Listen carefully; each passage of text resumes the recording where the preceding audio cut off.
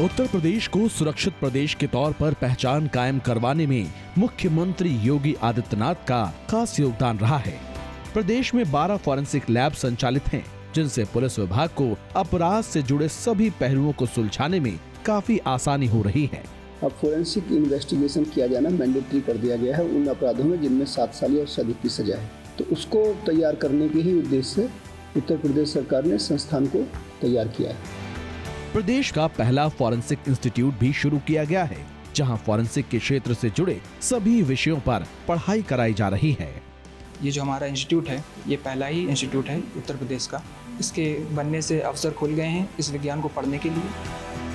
Forensic institute के ज़रिए जहाँ फॉरेंसिक एक्सपर्ट्स की कमी पूरी होगी वहीं अपराधों को जल्द सुलझाने में भी ये मददगार साबित होगा।